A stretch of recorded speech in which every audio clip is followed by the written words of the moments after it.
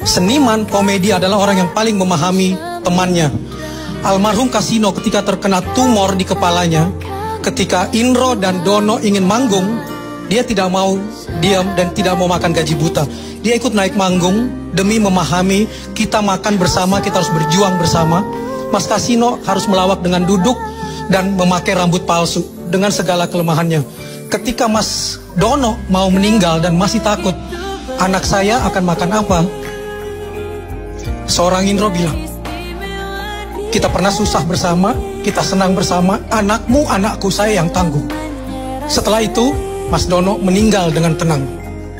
Cahyono dan Jojon, dua sahabat, sama-sama pernah bekerja sebagai buruh bangunan yang membangun Hotel Indonesia.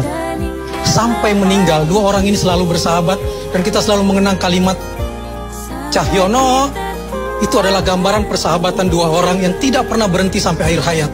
Dari dua tokoh ini kita belajar satu hal. Persahabatan itu abadi bahkan bisa terbawa sampai mati jika dibina dengan hati bukan dengan belati.